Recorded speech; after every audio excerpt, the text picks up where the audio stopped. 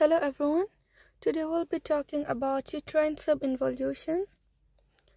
So when we talk about uterine involution, when the involution of the uterus is impaired or retarded, that is what we refer to as uterine subinvolution. And the uterus is the most common organ that is affected in subinvolution. As it is the most accessible organ to be measured by abdomen, the uterine involution is considered clinically as an index to assess subinvolution. So what are the pre predisposing factors of uterine subinvolution?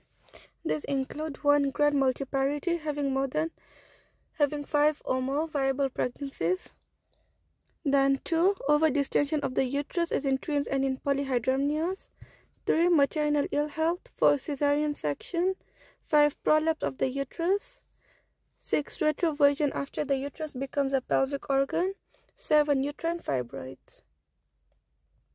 Non-aggravating factors include one retained products of conception and two uterine sepsis, which we call endometritis.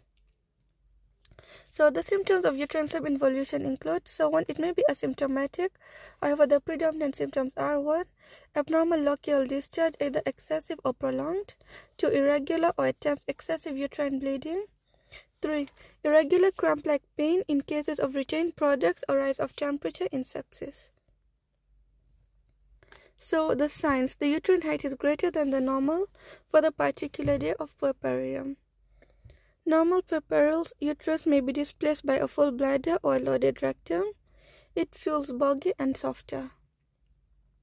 2. Presence of features responsible for subinvolution may be evident.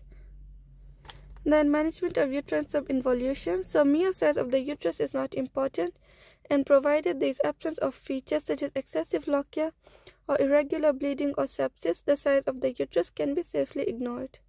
Appropriate therapies to be instituted only when subinvolution is found to be a mere sign of some local pathology.